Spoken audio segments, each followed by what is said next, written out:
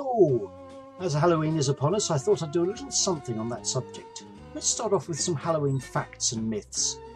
Because the movie Halloween back in 1978 was on such a tight budget, they had to use the cheapest mask they could find for the character of Michael Myers, and that turned out to be a William Shatner Star Trek mask. They modified it a bit, sprayed it, painted it white, and made it a bit scarier. Shatner initially didn't know the mask was in his likeness, and when he found out years later, apparently he was honoured. Well, the cheapo slasher film went on to take $70 million at the worldwide box office, was more than 200 times its budget, making it the most profitable film ever to feature William Shatner's face, beating even Star Trek II. Stephen Clarke holds the world record for the fastest pumpkin carving time of 24.03 seconds, smashing his previous record of 54.72 seconds.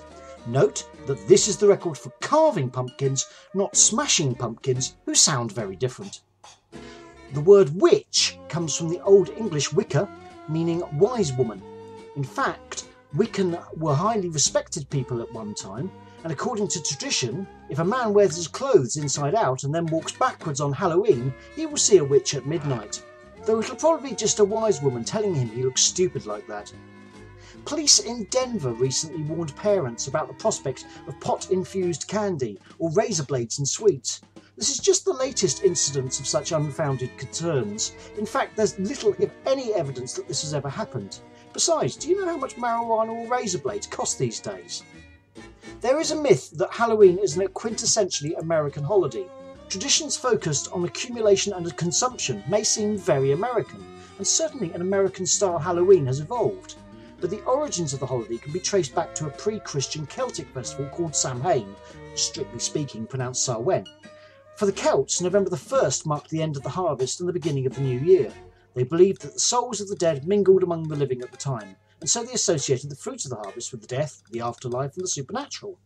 Later, after St. Patrick and other missionaries converted Ireland to Christianity, November the 1st became All Saints' Day or All Hallows' Day, and the eve of All Hallows became known as Halloween.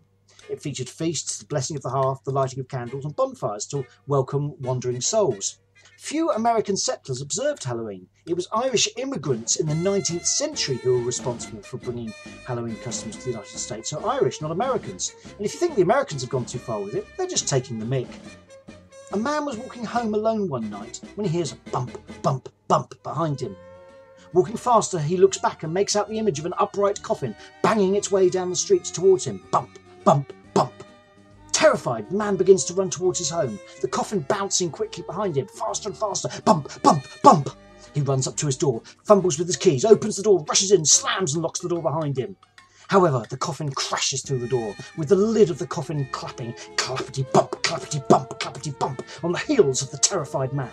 Rushing upstairs to the bathroom, the man locks himself in. His heart's pounding, his head is reeling, his breath coming in sobbing gasps. With a loud crash, the coffin breaks down the door, bumping and clapping towards him. The man screams, reaches behind him for something, anything, but all he can find is a box of cough drops. Desperate, he throws the cough drops at the coffin.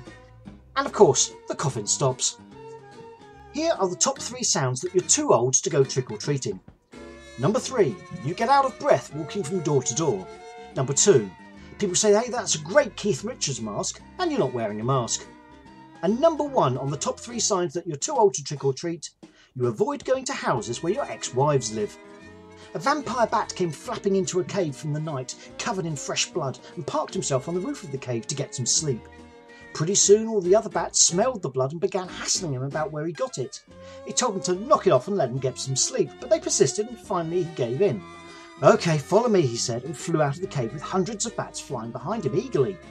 Down a valley they went, across a river and into a forest full of trees. Finally he slowed down and all the other bats excitedly milled around him. Now, do you see that tree over there? he asked. Yes, yes, yes, the bats all screamed in frenzy. Good, said the first bat, because I didn't. Here's a little poem to finish things off. Twas Halloween night as I leapt from my bed, with thoughts of amusement alive in my head. Turned off my computer and thought as I may of vampires of old and those of today. Of spooky old movies and Halloween parties. Of course, trick or treating, hope they don't hand out Smarties. And witches and ghosts and wolfmen I fear, so that haunted old house I'll never go near. When you see spooky places, just take my advice and don't go in rooms filled with ghosts, bats, and mice. Don't risk your life going looking for spooks, just go to a party with some good friendly kooks. Or gather your family, carve a pumpkin and think what to have your kids do and go pick up a drink. Play a joke on your friends, but mind how it looks, or else you may find yourself in bad books. Now put on that costume and dress yourself up. You can be pirate or ghoul, a cat or a pup. But be very careful, or else you might see that scary clowns now aren't really PC. So now you can think as you turn out that light that there's no such thing and that you are all right. Look under your bed though, and then you might see nothing. We aren't afraid of ghosts now, are we? That's all for this week. Sleep safe.